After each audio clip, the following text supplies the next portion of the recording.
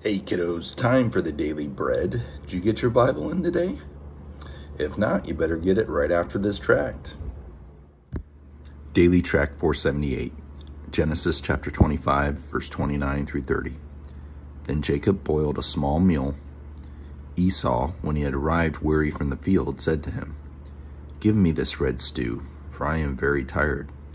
For this reason, his name was called Edom.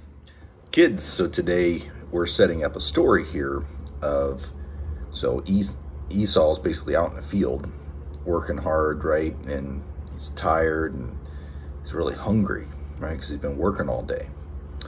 And so, of course, Jacob, as we learned yesterday, kind of hangs around the house, right? And so he's making uh, this this stew, this red stew. And you know, you know how siblings work, right? I mean, you think Jacob's just going to give him the stew?